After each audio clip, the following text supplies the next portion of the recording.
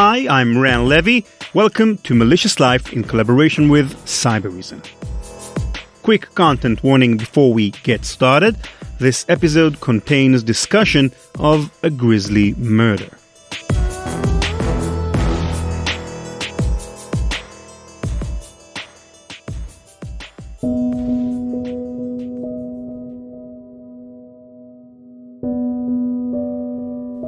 How do you catch a hacker who's covered their tracks? Security experts have all kinds of ways of tracking cyber criminals. Sometimes it doesn't take much. If a hacker isn't careful, like Gary McKinnon, whose story we told in an earlier episode of Malicious Life, they may leave behind personal data like an IP address or a girlfriend's email address. Jon Johansen, the teenager behind DeCSS, openly bragged about his role in creating an illegal software. All anybody had to do to get to him was, well, write an email. Advanced actors, such as nation states, are tougher to pin down. When GitHub was attacked, it was the insight of one independent security professional to use traceroute, an ancient and somewhat obscure system command that tracks internet packets. When Sony, Google, and the Democratic National Committee were hacked, circumstantial evidence, such as the nature of the attack and the victims and systems that were targeted, played heavily into attributing those responsible. Let's suppose we've got a case where no such clues are available. We're dealing with a really good hacker. They've listened to every Malicious Life episode, and so they know all the pitfalls to avoid. They design new malware from scratch, route their attacks through various proxy servers, and so on. How do we begin to approach catching such a hacker?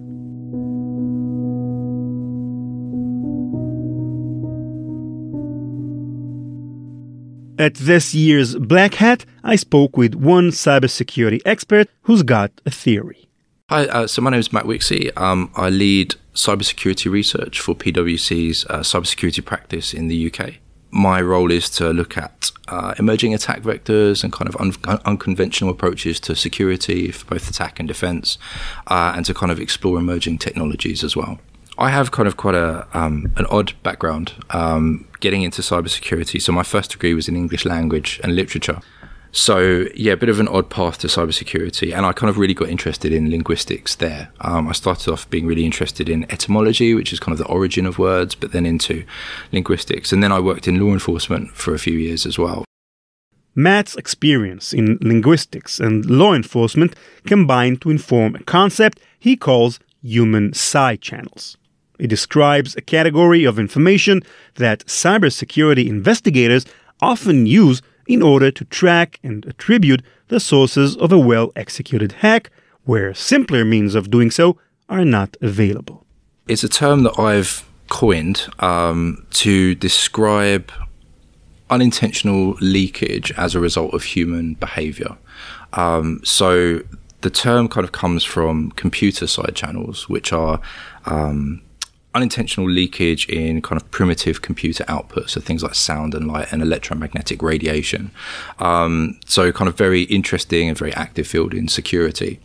And human side channels are a development of that, looking at humans as, as kind of like a, a, sort of biocomputer, I guess. So that the fact that kind of when humans um, produce some kind of output, whether that's writing or speech or, or, typing or something like that, that there will be kind of uh, unintentional leakage which could be used to um, to attribute activities to a certain individual. There are three groups of human side channels forensic linguistics, behavioral signatures, and cultural CAPTCHAs. Let's start with forensic linguistics and how cyber investigators can use this practice to catch hackers, much as law enforcement investigators do to catch criminals.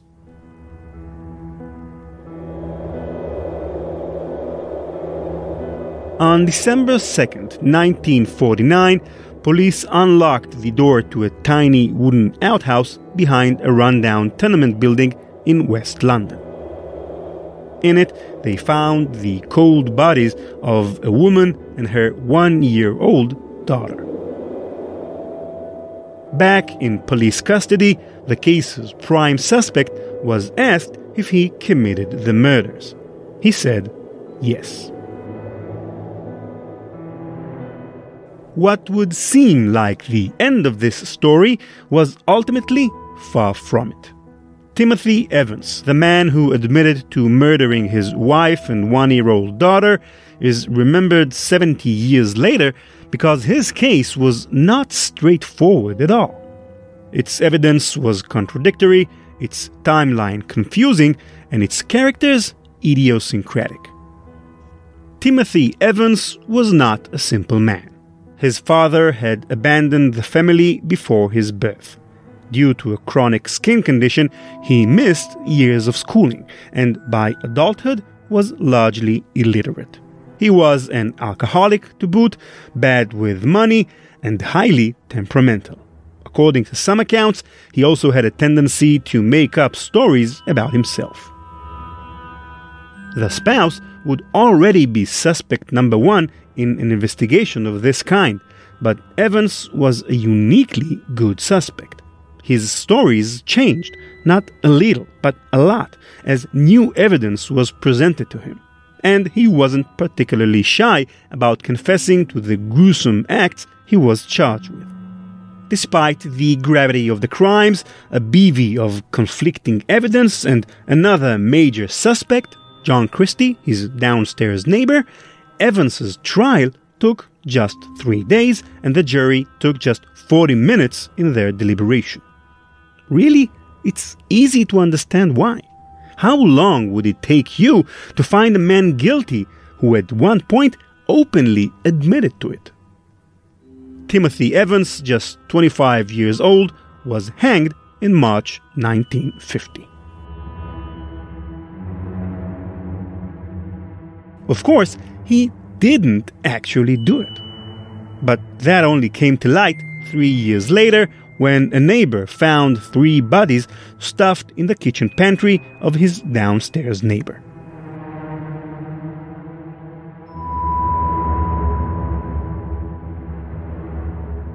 The Evans case was seminal in UK legal history, in part because of the criticisms leveled at the police overseeing the investigation. Many pointed out issues in how they handled key evidence and how they drew out the confession. A linguist um, called Jan Svartvik uh, later looked at the statements that Timothy Evans had given to the police. And he, um, by analysing those linguistic features in the statements, he found that there were two different writing styles in those statements. Uh, one of them he could attribute to Timothy Evans, um, who was being interviewed, but there was another one uh, which was particularly present in passages uh, which were incriminating. And um, what Svartvik found was that basically the police officers who'd interviewed Evans, rather than um, just kind of writing down word for word what he'd said. They'd actually influenced what he'd said um, to to make him seem guilty of the crime. The transcripts of Evans's confession were supposed to be word for word. Later analysis demonstrated evidence that they were, in fact, not. Evans, as we mentioned, was uneducated, hardly literate. Some particularly important passages in his statements to police sounded out of character, the kind of language more likely to come from a police officer than an illiterate man. The Timothy Evans case demonstrated to the world how useful forensic linguistics can be in law enforcement. Had it been around in the early 50s, Evans likely wouldn't have been sentenced to death. Instead, he and the other women Christie murdered after Christie was found wrongly innocent became martyrs upon which a new field was born. So the, the linguist uh, Svartvik, he, he then uh, wrote a paper on this and coined the term forensic linguistics. And that was in kind of 1968, I think that coined, that, that term was coined. Um, and since then, it's kind of been used uh, to some degree in kind of law enforcement investigations in the real world. It's also used for um, like plagiarism investigations in academia. It was used to try and work out if Shakespeare had actually written Shakespeare's plays. Um, same with the Federalist Papers, and more recently with um, with J.K. Rowling with the first book after Harry Potter, um, where it was kind of written under a pseudonym. Forensic linguistics was used to show that it actually was Rowling who wrote it. Forensic linguistics rests on one inescapable aspect of human nature that we're all different, unique, and therefore distinguishable from one another in our speech. So the the kind of theory that because we all have a unique uh, upbringing and experiences and education, that we um, have a unique way of looking at the world and a unique way of um, expressing uh, ourselves. Expressing ourselves, guessing. exactly, yeah, and, and kind of the way we kind of form output. So, um, forensic linguistics is kind of an example of that, um, particularly something called stylometry, which is um, writing style. So, um, it's looking at very kind of granular features of someone's writing, picking those out, uh, and that would be things like average word length, average sentence length, um, the construction of sentences, particular kind of turns of phrase and words, which taken together can be used to uh, potentially identify your writing style amongst a set of writing styles. So if I had kind of 10 pieces of writing that I know you'd done, for instance, and then I had a piece of text and I wanted to find out whether or not you'd written it, um, I could kind of pick out the features from those 10 pieces um, and compare them against that unknown text to see what the kind of probability is that you had written it. An illiterate man experiencing the murders of his wife and daughter will likely express himself differently than a police officer attempting to impersonate that man. Unintentional leakage occurred when the officers working Evans's case tried putting words in his mouth but ended up giving themselves away. So, forensic linguistics can, in some cases, attribute testimony to a speaker by identifying unintentional leakage. The question now is whether we can find unintentional leakages in code to identify the author of a malware. According to Matt, we can, because forensic analysis is not specific to any one form of writing. It applies to any expression of language if adjusted properly for context. And that's even without regards to the content of the of the actual written piece. It could be just any kind of written material that I wrote, just based on the style. Absolutely, yeah. So it, it's pretty much not to do with content at all. Um, it's just about the very kind of granular uh, linguistic aspects of it. Forensic linguistics experts track spelling, grammar, vocabulary, sentence structure, and word choice. When cybersecurity experts try to catch a hacker who's covered their tracks well, they use these same techniques. For example, a peculiarity in source code that also showed up in another malware program might be useful in tying two distinct malicious programs to the same perpetrator. Um, some of the use cases for defense would include things like detecting sock puppet accounts. So, social media accounts that are um, under different usernames but run by the same person, for instance. And obviously, that's something that's very kind of relevant socially at the moment in terms of politics and, and kind of uh, manipulating consensus and that sort of thing. Um, another would be um, threat intelligence and incident response. So, if you have a threat actor, who is sending out spear phishing emails and maybe they're running different campaigns aimed at different organizations maybe even with different pretexts for the, the social engineering um, if you kind of collect those spear phishing emails together you can still look for common features and potentially attribute them to the same uh, same individual who wrote them Forensic analysis is also useful in sussing out hackers trying to mask their identities through deception. When the DNC was hacked in 2016, somebody calling themselves Guccifer 2.0 claimed responsibility. In an interview with Vice magazine, this individual claimed to be Romanian and, you know, definitely not Russian. By 2018, forensic evidence tied the persona to an officer in Russia's military intelligence directorate and confirmed what everybody expected in the first place that Guccifer 2.0 was a decoy, a story meant to confuse news reporting deflect blame, and troll investigators. The next type of human side channel, behavioral signatures, is something cybersecurity investigators have been weaponizing for a long time now. It's particularly useful against the biggest and most powerful hacking groups in the world, like APT 1.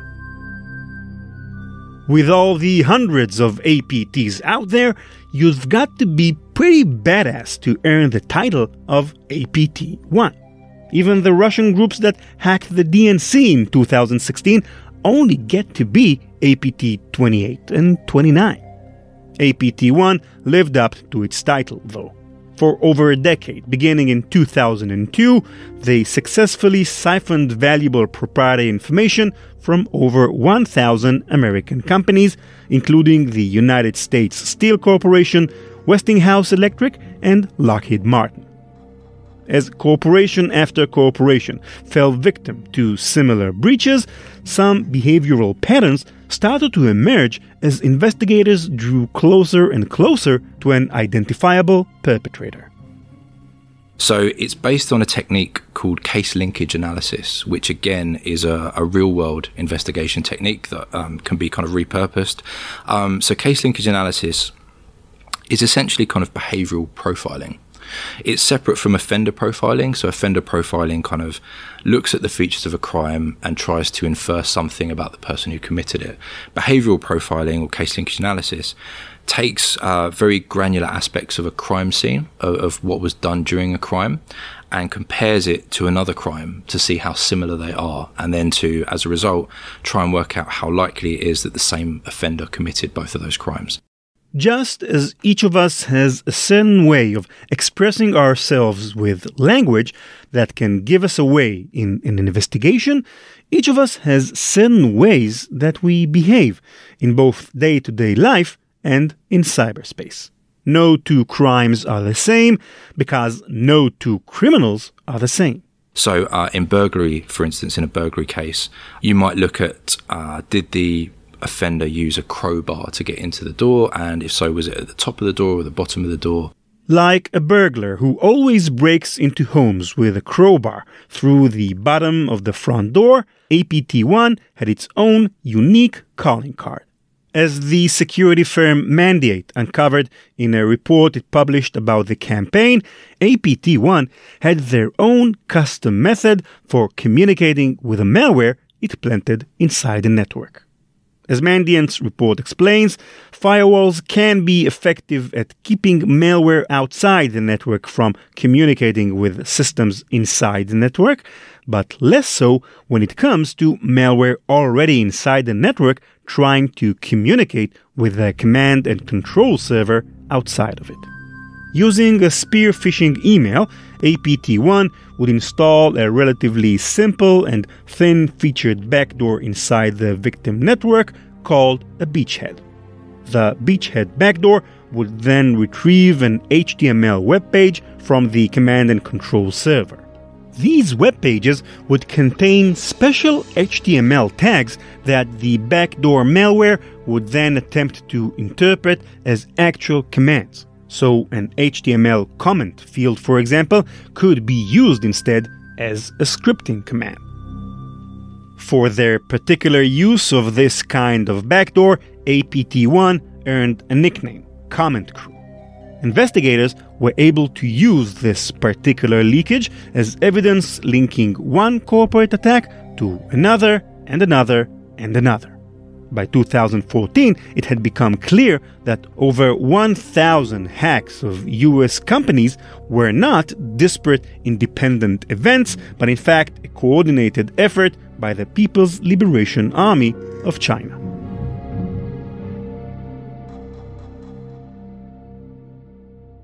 While attack methods are the most common sources of information in cyber investigations, there are other behavioral side channels that are even more interesting.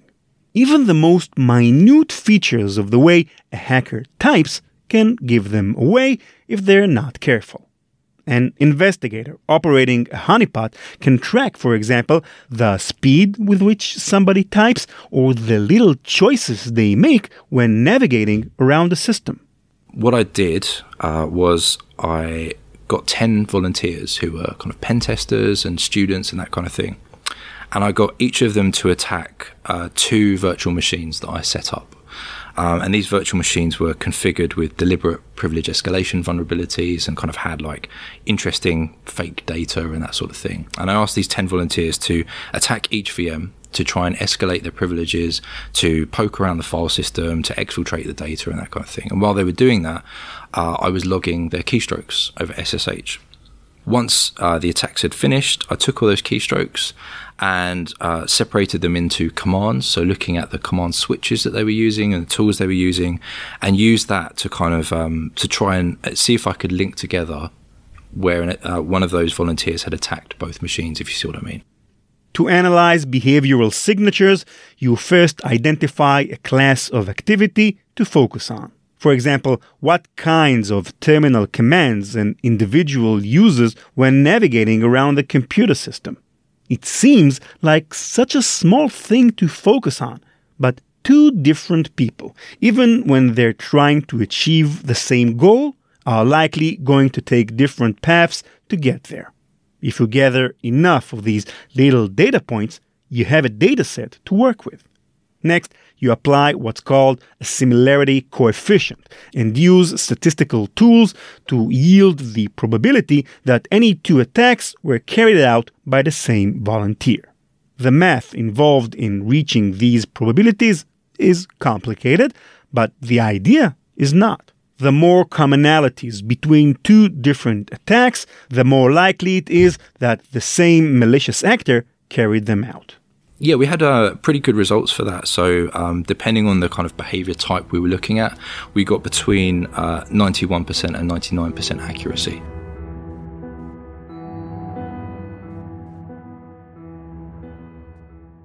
If you've ever filled out an online form, you've probably experienced a CAPTCHA. They're those little boxes with obscured letters that you have to read and then type out. They're used in order to prove that you're a human and not a bot. Cultural CAPTCHAs are perhaps the strangest human side channel of the three we're discussing in this episode. They refer to the little cultural signifiers that each of us knows implicitly, but only because of where and when we grew up. Like ordinary CAPTCHAs, they might be a useful means of snuffing out an online disguise. Let's take a hypothetical. Say I, Ran Levi, am trying to pass as an American instead of an Israeli, which is the real case. How would you be able to tell that I'm lying?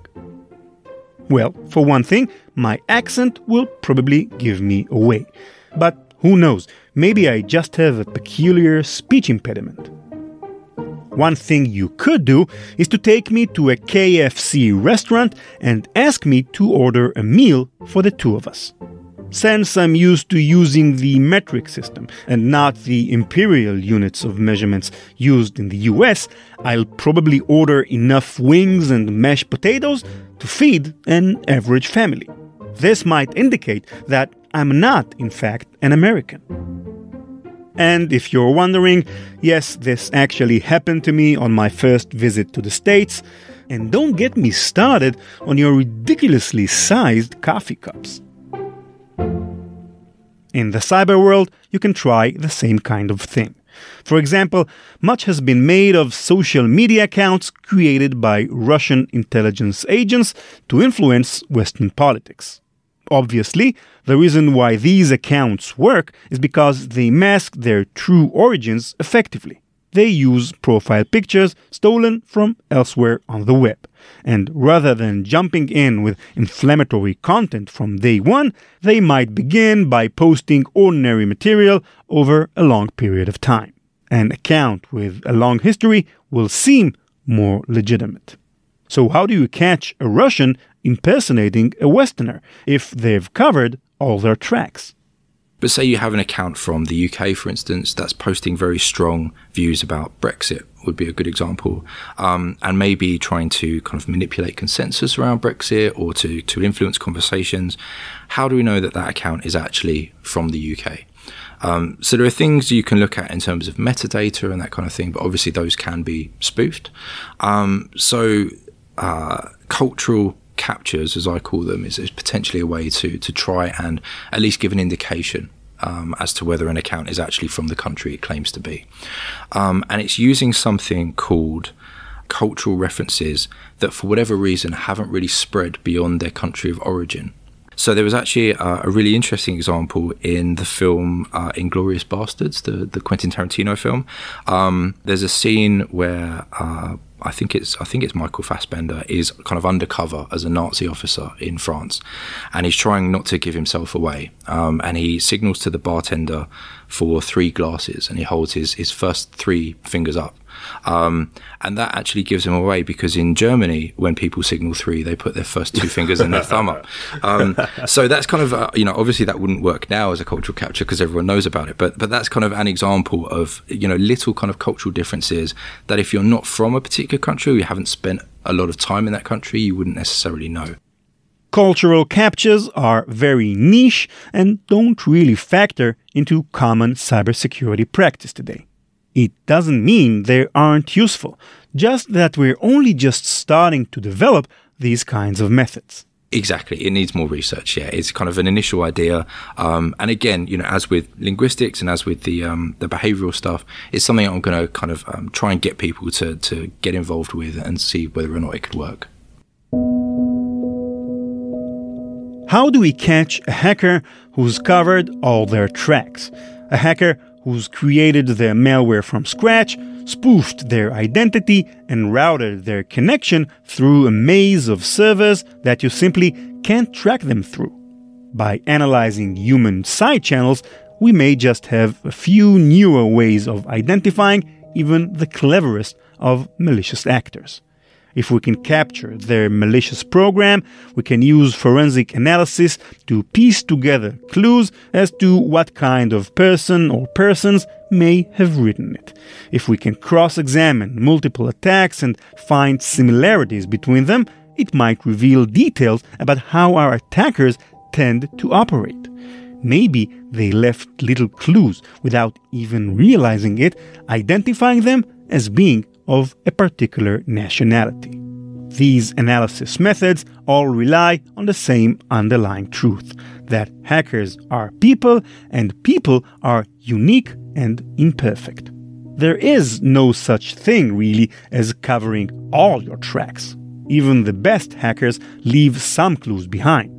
It's the job of cybersecurity experts to develop the tools and methods necessary to sniffing out those clues, however well hidden they are.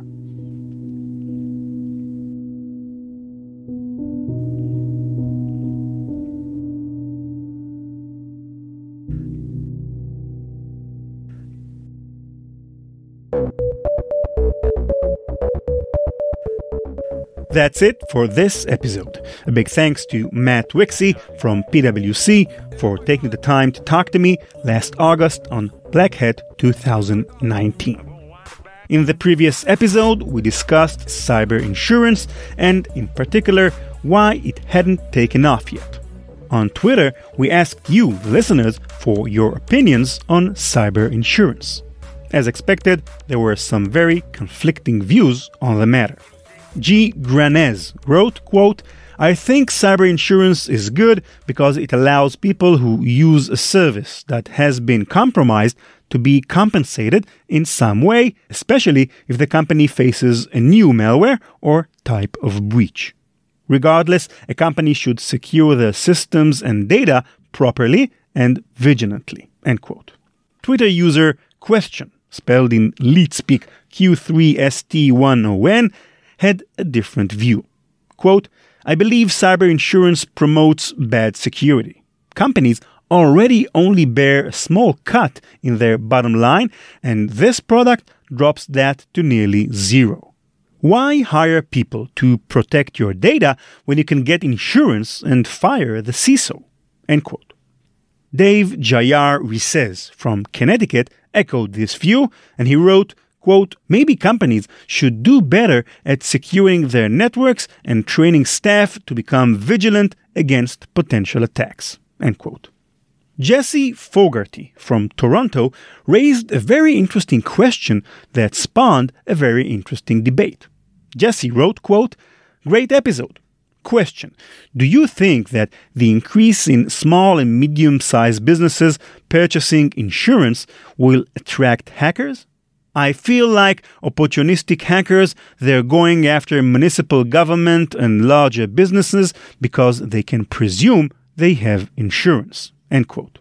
This is actually an important question that never occurred to me when I interviewed Jeffrey Smith for the episode. But luckily, Jeffrey was available on Twitter to give us his view on the matter. Quote, Hard to argue that knowledge of in force cyber insurance will not increase random demands. It's unfortunate some risks, municipalities, for example, feel obligated to announce to all they buy coverage. Make all efforts to guard who knows about cyber insurance purchases. End quote. And indeed, Jeff from Texas wrote, quote, We have cyber insurance at my company, and we specifically are instructed not to mention it. End quote. We asked you this same question in the form of a Twitter poll. 45% of the voters think that yes, the widespread adoption of cyber insurance will increase the number of cyber attacks on small and medium sized businesses. 30% thought it won't increase the number of cyber attacks, and 25% said they might start hacking SMBs themselves. Thanks to all those who voted and tweeted me their answers. This week's question, as usual in the spirit of this episode, is if you were to hack some network, what are your personal quirks and peculiarities that would give you away if someone was monitoring that network? For me, I guess it would be the number of gibberish commands I'd enter, as I always forget if my keyboard is set to Hebrew or English. So, what is your human side channel? Write to me via Twitter at, at ranlevi, that's R-A-N-L-E-V-I, or at malicious life. As always, if you have stories you want to share with me or suggestions for cool new topics for future episodes of Malicious Life, I'm always happy to hear from you. Write to me via Twitter or email me at ran at ranlevi.com. Our website is malicious.life, where you'll find all of our past episodes and full transcripts. Malicious Life is produced by PI Media. I haven't mentioned my production company so far in the episodes, but Malicious Life is just one of many podcasts we create for various companies and organizations.